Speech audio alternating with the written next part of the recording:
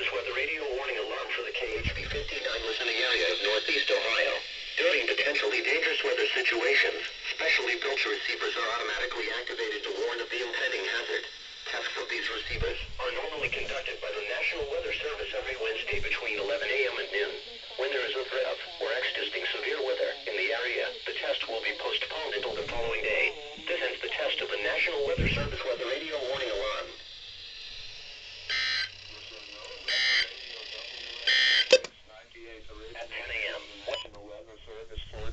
Office in Cleveland.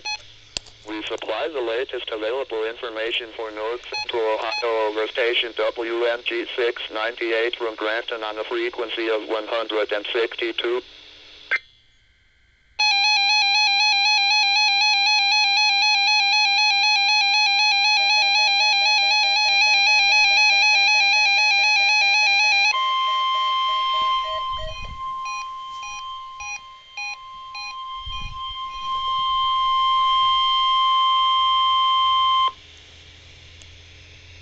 A test of the Weather Service weather radio warning alarm for the WNG 698 listening area of north central Ohio. During potentially dangerous weather situations, specially built receivers are automatically activated to warn of impending hazard. Tests of these receivers are normally conducted by the National Weather Service every Wednesday between 11 a.m. and noon. When there is a threat of or existing severe weather in the area, the test will be postponed until the following day.